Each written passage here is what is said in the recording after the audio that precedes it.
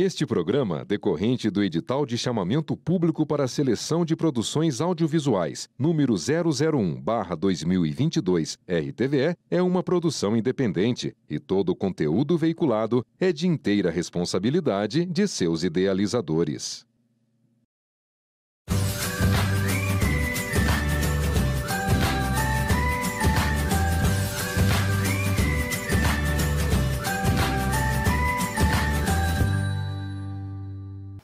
Programa de hoje vai falar de um prato que você pode reunir a família, os amigos, um happy hour, fazer uma confraternização, né, Ana? Vamos falar do churrasco.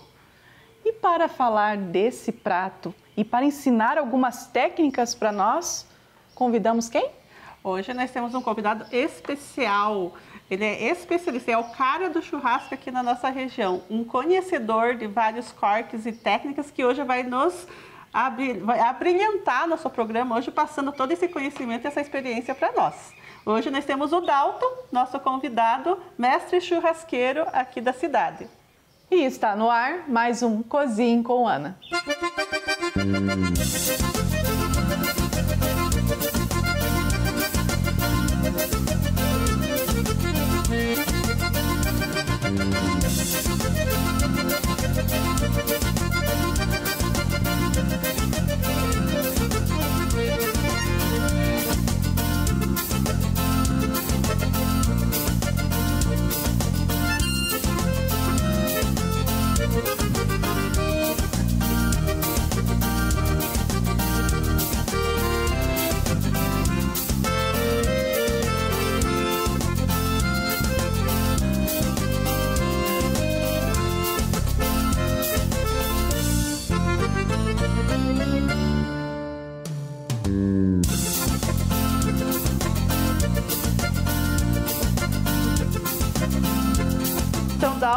favor, pode você chegar aqui comigo. Seja Ana. muito bem-vindo. Bem? Muito obrigada por você se dispor a estar conosco hoje, nos passando todo o seu conhecimento. Uhum. Então, seja muito bem-vindo. Muito obrigado, Ana. É uma satisfação. Então, se aproxima final de semana, a gente já pensa, né? A primeira coisa, reunir a família, né? Juntar os amigos, ou então tem uma comemoração para fazer. A primeira coisa que vem sempre à cabeça é vamos fazer um bom churrasco. Então, hoje você, como eu, o, o que eu conheço da sua história, né? Você já vem de um longo tempo trabalhando no ramo alimentício, Isso, uhum. mas em determinado momento você foi pro lado da carne Isso mesmo. e É. acabou se tornando um grande conhecedor. Então hoje vamos falar de churrasco. Isso mesmo. Vamos lá?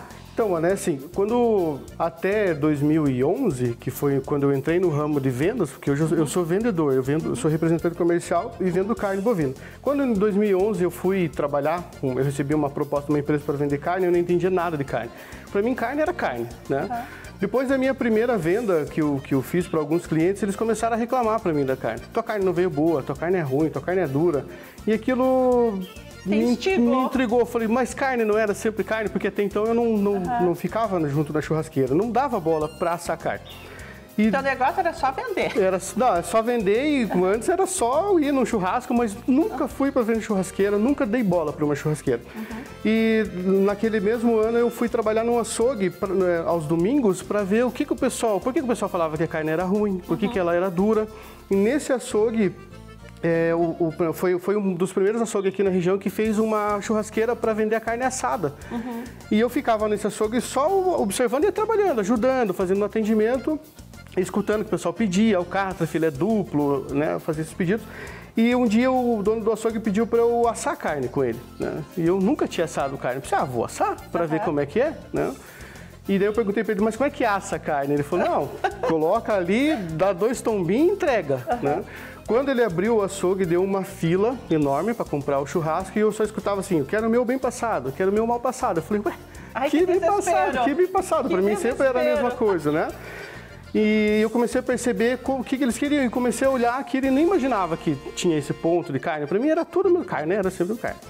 E, e, e, e, começou a me chamar a atenção, eu comecei a assumir o churrasco da família, que lá na minha família é sempre 20 pessoas, assim, entre os cunhados é e familiares. É uma comemoração é. sempre. Aí eu comecei a assumir o churrasco da família, comecei a pegar gosto, comecei a entender. E bem nesse, nesse período, o, a gente estava tendo uma mudança de de comportamento de produção de carne no Brasil também. Uhum. O produtor já estava investindo num produto de melhor qualidade, já estava fazendo essa separação, essa classificação. Porque os consumidores começaram a perceber isso, isso também, começaram a exigir diferentes tipos é. de cortes. Isso. Né? É, e a gente sabe que a carne vai depender muito também do, do lugar onde foi criado esse Total. Esse hoje bovino, hoje está né? mais forte. Naquela época, como estava iniciando, iniciando, o que, que você ia no mercado e falava assim, eu quero uma carne de primeira, quero uma carne de segunda. Era assim que você comprava carne. Só existia isso? Só isso. Era isso, é. né? E hoje, e naquela época, como foi estava sendo feito esse trabalho no campo, essa diferenciação de raças, de, de alimentação do gado, e isso começou a vir para o mercado e eu comecei a pegar junto essa onda, gostando de churrasco, né, começando a me aprimorar e uhum. buscando informação, né? isso. Você, você e a carne se transformando também. Então eu peguei junto essa onda e acabei que a, a, a, pegando alguns cortes de carnes que eram extremamente maravilhosos quando assava. Era fácil de fazer, era muito saboroso e alguns já não eram mais tanto. E eu fui atrás descobrindo e era estava lá no campo que né que estava tendo essa diferença. Rodolfo, e hoje aonde que o boi estava sendo criado? Isso, a região que ele, o tipo da raça, até a raça, a né? raça Tudo hoje influencia, influencia muito. A idade do animal hoje também, né? Sim. Que até lá 2010 é, a gente pode dizer que era abatido animais mais velhos, né? Uhum. E, e do, do, desse tempo para cá que foi, foi feito esse, né, esse controle de, de, idade por animal. Então hoje a gente abate, os animais são abatidos mais novos, então eles têm, são mais macios. O churrasco ficou mais fácil de fazer. Muito. Então, é, e a gente também tinha uma cultura é, aqui na nossa região que é, no Rio Grande do Sul você desde criança você acompanha mas aqui na minha cultura, na minha família, não, não tinha essa, essa tradição de fazer o churrasco, né? Então a gente aprendeu mais tarde como que, como que, como que faz. E hoje eu vejo assim que o pessoal, aonde eu passo para falar de churrasco, o pessoal tem umas, umas, coisas básicas que eles não se atentam para fazer um churrasco. A escolha da carne ficou fácil, uhum. né? o preparo do fogo, Sim, o pré-preparo é, né, do churrasco. Que ainda não sabe acender o fogo, mas hoje a gente vai ensinar vocês, inclusive, a fazer o fogo. É. É, e na verdade, assim, o churrasco se tornou um prato é, altamente conhecido na, nacionalmente, mas internacionalmente também. Nós temos uhum. várias churrascarias fora do país, onde, onde o pessoal procura e degusta assim com, com, com, muita qualidade também, porque eles oferecem Isso. os uhum. cortes, o que a gente tem hoje. É, o churrasco também tem uma história em si, né? Sim, sim. A, a, gente sempre fala aqui um pouquinho da curiosidade do prato, então hoje eu vou falar um pouquinho para vocês em que o churrasco ele não existiu é, é, a vida toda, ele surgiu em determinada época.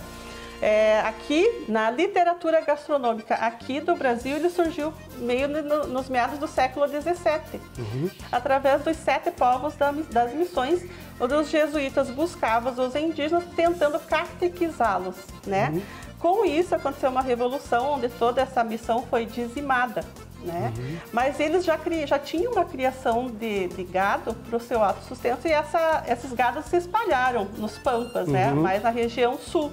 Depois da guerra, esse gado se espalhou e também procriou, aumentando ainda mais os, os rebanhos, né? Com a dizimação dessas missões evangelistas, começou uma colonização de povos através da busca de ouro. E lógico, eles precisavam se alimentar, uhum, né? Uhum. Então começou ali a comer-se fatias de carne fresca temperadas com cinza. cinza. E desde então, isso foi, esse foi, foram os primeiros churrascos, né? uhum. né? E desde então, do século XVII, as técnicas foram se aprimorando e hoje nós uhum. temos o nosso churrasco, né? Tão conhecido de todo mundo. Tão conhecido, tão maravilhoso. São curiosidades, né? É, o, o que eu gosto também, essa a história do churrasco, ela é fantástica. E por mais que a gente tenha tantas tecnologias, tanta coisa que deixou o churrasco mais fácil, a produção da carne e tudo, mas o, Não se faz churrasco sem fogo. Sem fogo e sem a, a união das pessoas, eles se reuniam, né? Pra, eles paravam tudo que eles estavam fazendo para Para se né, reunir e confraternizar. É, tem uma, uma- tem um livro que eu, que eu gosto muito que é a história do churrasco da Lagoa Vermelha e eles falavam que antigamente os, os, os homens da caverna, quando eles começaram, descobriram com fogo lá que podiam é, preparar o alimento, eles não se falavam.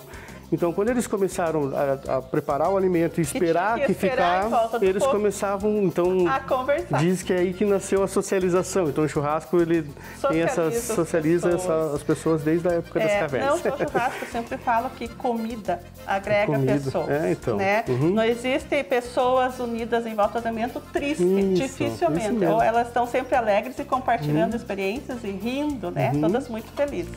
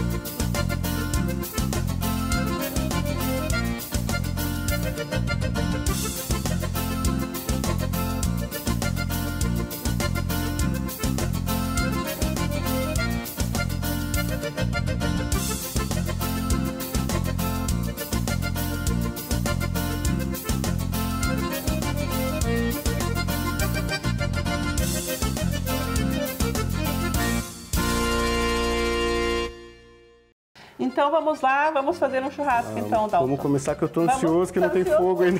O fogo já devia estar ardendo aqui, né? É, Então vamos iniciar pelo fogo. Isso aí. Então eu sempre brinco que né, do fogo, porque assim, é, quando você vai preparar um churrasco, você, a primeira coisa que você tem que fazer é o fogo. Né? Você tem que separar a carne lá, depois eu vou falar um pouquinho sobre a escolha da carne, dos cortes, mas quando você vai chegar aqui na frente do churrasqueiro, se preocupe com, Com o fogo. fogo. Esquece, deixa tudo de lado a carne, deixa toda o que você vai preparar depois e faz fogo. Porque o fogo aqui, ele vai representar 90% do assado, porque a carne é macia, a carne é fácil de fazer. Mas se eu não tiver um bom fogo, eu não tenho Não como. vai ter churrasco. É igual Ana na cozinha, quando você vai uma panela ali numa boca mais forte, um fogão que é ruim. Ou uma panela ruim. Uma panela ruim, então eu preciso deixar isso aqui bem organizado. Então a gente vai fazer aqui, eu vou fazer hoje três fogos para você. É, porque a gente tem aqui uma churrasqueira, uma parrila e tem uma churrasqueira tradicional. Então eu vou fazer o fogo da churrasqueira tradicional com lenha, vou fazer ali o fogo de carvão para você usar tanto na parrila quanto na churrasqueira convencional e depois eu vou fazer um fogo lá na caixinha de fogo lá para brasa. gente manter braço, tá bom? Na Firebox. Então aqui para fazer o fogo de lenha, né, eu vou usar aqui um pouco de bracatinga, que tem bastante aqui na nossa região. Então, um eucalipto de, com, com de reflorestamento. E aqui eu fiz um- uns mais fininhos que a gente chama de trisqué. Ou os famosos cavaquinhos. Cavaquinho, né? A gente chama de trisqué, que é para iniciar o fogo, tá? Então, a lenha mais grossa, sempre bem seca, eu vou fazer aqui no canto, ó. Eu vou colocar aqui pra gente fazer uma, um, um forninho com a lenha mais grossa, tá? E aqui tem um detalhe já, Ana, que já começa no fogo, que o que eu vou passar é o jeito que eu gosto de trabalhar com a churrasqueira. Eu vou colocar, concentrar esse fogo mais no, no canto da churrasqueira, tá? Para depois vocês entenderem que a gente consegue trabalhar uma linha de temperatura. Então eu vou concentrar esse fogo mais no canto, tá? E já vou pegar aqui, ó, esses gravetinhos aqui pra gente iniciar, ó, é bem, não tem segredo, é só colocar as partes mais fininhas aqui, ó, que ele- o eucalipto ele pega fogo bem rápido, né, bem sequinho. Vou Eu fazer minha casinha assim. Porque a gente sempre tem que fazer a casinha, né? Isso, é, porque assim, ó, quando se faz a, a- ó, esses espaços aqui, ó, o que vai alimentar o fogo é o ar, que vai circular aqui, né, o não oxigênio. existe- Então, é, não existe fogo sem oxigênio. então, é, então a eu preciso... precisa deixar essa vazão de oxigênio Quanto mais. circulando. É. E esse parece, né? Ah, é uma. uma, uma uma fogueirinha, né? Uhum. Esses espaçozinhos aqui, quando o oxigênio entrar aqui, o ar entrar aqui, ele vai ajudar a puxar. Então ele vai, vai acender o fogo bem rápido, tá? Coloca a quantidade que quiser. Eu vou deixar aqui mais um pouquinho para pôr depois em cima do carvão, para quem gosta de trabalhar com carvão e lenha, tá? Aí depois vem aqui, ó, um pouquinho mais, um pouco mais grosso já. E já vou colocar aqui do lado, ó. Tá vendo aqui? Já vou pôr aqui em cima. Esse aqui também.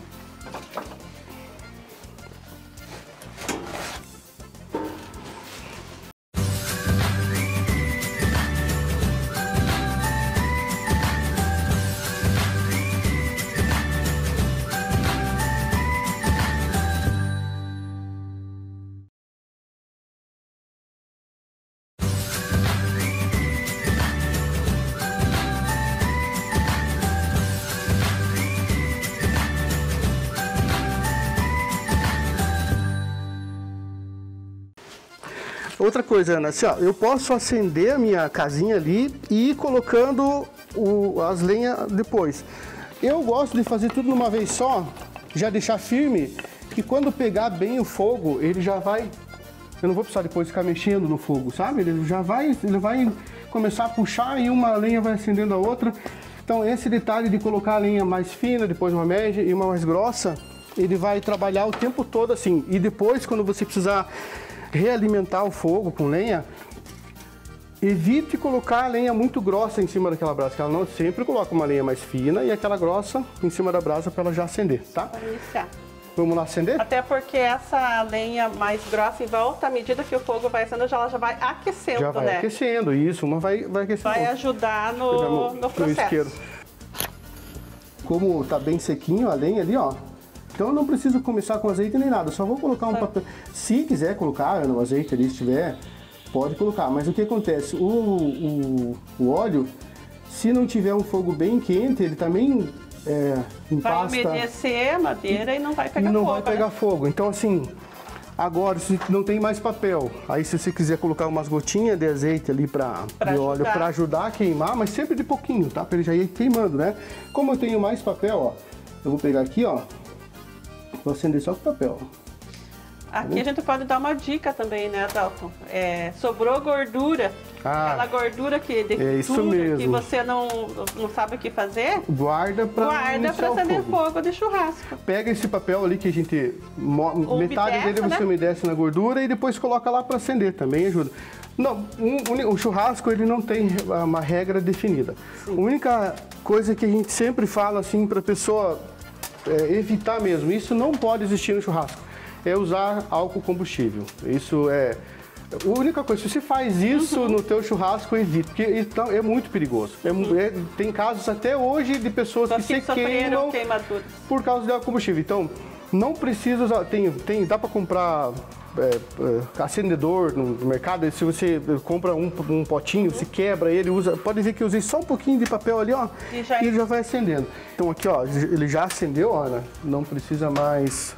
Ó, ele já acendeu fininho e agora ele vai passar de um pro outro. Eu tinha aberto ali para para acender, agora eu vou colocar o mais fininho, vou fechar ele aqui, ó.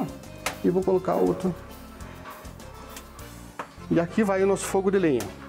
Fogo de lenha para quem tem mais tempo de fazer o assado, para quem quer. Aqui eu vou conseguir fazer um, um assado já mais defumado, mais de um jeito Então, antigo, né? Eu ia te perguntar Aham. justamente isso. Hoje a, a lenha tem uma grande influência no sabor no da sabor carne também, né? É. O que vai diferenciar de fazer na parrila, para quem tem parrila, para quem tem a churrasqueira convencional, que muita gente é assim, né? Por que, que a gente fazia churrasqueira profunda? Uhum. Porque antigamente a gente usava muita lenha, não usava o carvão, né? Hoje então você pode diminuir a churrasqueira, a profundidade dela, vai usar menos lenha ou então você vai mesclar com carvão, que é o que eu vou fazer ali para o pessoal ver. Porque daí assim, ó, vai dar, vai fazer a brasa, vai aquecer e, e a lenha vai dar aquele defumado. Você vai jogar depois em cima, mesmo na, na, na altura da, dessa churrasqueira for mais baixa. Mas a única coisa que se a churrasqueira for muito funda, não vai ter ela consome mais carvão. Então assim, Mais carvão, mais lenha. mais lenha, mais carvão. E, ah, e às vezes a pessoa não tem tempo para fazer um fogo de lenha, que fique lá esperando essa lenha virar brasa. Então a gente sempre sugere que a pessoa diminua, se ela está incomodada com essa profundidade, diminua o, a- o fundo da churrasqueira, com, coloca bastante areia. E depois pedra refratária, você acerta a altura que você quiser. Se você não gostar, você tem essa opção de, De- de- de desmanchar. mudar. Isso, tá bom? Então, essa, essa é a função da churrasqueira Da churrasqueira. profunda. Fazer um churrasco, né, com agregando sabor, com um assado, mais assado, tá? Então, depois eu vou explicar também sobre assado, sobre grelhado, mas aqui a gente já tá deu início. Então, nós iniciamos já o nosso fogo ali com a lenha, uhum. mas o que eu quero falar, assim, que eu quero te perguntar, que eu, que eu, que eu sei e as pessoas comentam, a lenha vai ter uma grande influência no sabor dessa carne. Isso. E eu sei que existem lenhas que podem até estragar um churrasco. Isso. Gostaria uhum. que você comentasse alguma coisa. Então, uh, os, as lenhas que a gente mais recomenda utilizar, ali que, que é, então são lenhas que não sejam resinosas, né? Então, eucalipto, o abracatinga, claro que tem que ser de, de reflorestamento, não, é uma árvore uhum. nativa, não pode ser, né? Tem que ser de reflorestamento, o eucalipto de reflorestamento, é, tem também guamirim, várias regiões, né? Essas lenhas, o que que acontece? O, o eucalipto é uma lenha que vai dar mais combustão, ele uhum. queima mais rápido. E essas lenhas mais nativas, mais resistentes, elas vão dar brasa. Uhum. Então você pode mesclar. Ah, mas na minha região não tem uma bracatinga, não tem uma, uma, uma, uma lenha forte. Então você usa só o eucalipto mais grosso, mas você tem que entender que ele vai ser só um, com uma combustão. Ele vai dar um, um gostinho e de... vai gerar calor é. só. E o que, que, é importante na hora de você usar essa lenha? Ela tem que estar sempre bem seca, porque se ela estiver molhada, ela vai soltar uma fumaça branca na carne, que é o que vai amargar a carne. Uhum. Então, quando a gente fala de defumar churrasco, gostinho de churrasco, Ó, é nessa, nesse padrão. Essa fumaça ainda ela tá meio esbranquiçada, ela tem que ser mais transparente. Uhum. Esse, esse é porque já fez, já aconteceu a queima da, da, da, lenha e eu vou aproveitar essa fumaça. Eu não posso jamais, você não, não pode colocar, por exemplo, fez lá o fogo, colocou um toco de lenha, saiu aquela fumaça branca. Isso não dá, isso estraga a carne. Então, sempre se atenta com temperatura. O que né, a gente vai fazer, vai se preocupar em assar a carne e esse gostinho que da, da, lenha não é com a fumaça em si, mas é com a terminação da combustão da lenha que vai agregar sabor, tá? Uhum. Sempre não esse amargo, né? Uhum. E jamais usar resto de construção, é que jamais usar, né? Não se recomenda, porque ele tem cimento, né? Não usar madeiras que foram de tratamento, né? às vezes tem lá registrado, essas coisas. A gente não, não, jamais deve usar esse tipo de lenha. Então, uhum. se na dúvida. por um processo, processo químico, químico proteção, não, né? jamais, jamais. Isso aí tudo vai grudar na carne e vai, né? É até perigoso. Uhum. Então, sempre tenta usar se não, te, não tem disponibilidade de uma lenha que não tem procedência, usa só o carvão. Uhum. Usa só o carvão. Eu sei que tem é, madeira de macieira, de pessegueira. Essa de parte... Essa daí seria para a parte da defumação. Defumação. Daí, então. Esse é, é o recomendado. Isso. Se você tem lá uma laranja lá, que você cortou antigamente, jogava fora. Guarda esse pé, corta, faz, deixa ele secar bem e quando você fizer a tua brasa, você coloca um, um pedacinho dessa lenha para daí agregar sabor. Isso vai transformar o teu churrasco no assado Totalmente. Pode fazer um assado só de carvão e pode fazer um com a defumação, né? Hoje a gente tem as defumações, né, com, com churrasqueiras lá que um, fechadas uhum. de pit, smoker, né, que, que, são defumações americanas de barbecue, mas ainda a nossa, o que a gente tem aqui para dá para fazer não naquele mesmo processo de carga de fumaça, mas dá para agregar, agregar sabor muito sabor. Com muito essas sabor. madeiras. Dá, dá para agregar, tá bom? Então lenhas frutíferas que não são resinosas, elas podem ser usadas podem também. ser usadas. Sempre, sempre bem seca, tá? Sempre, sempre bem... seca. Ah, e tem um pessoal que molha a lenha para pôr no fogo. É, já vi que alguns comentários, eu não recomendo, eu não gosto, tá? Eu gosto de usar a lenha que eu gosto que ela pegue fogo. fogo. Ela vai assando com a temperatura e soltando aquela já depois da combustão.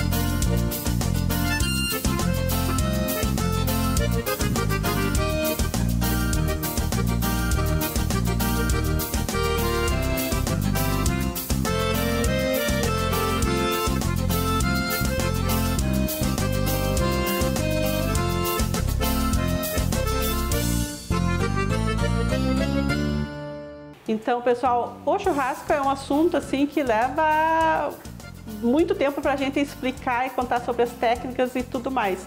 Então hoje nós iniciamos esse programa falando sobre o fogo, sobre as maneiras de usar carvão, madeira, enfim, as técnicas de acender um bom fogo e a importância desse fogo para o seu churrasco.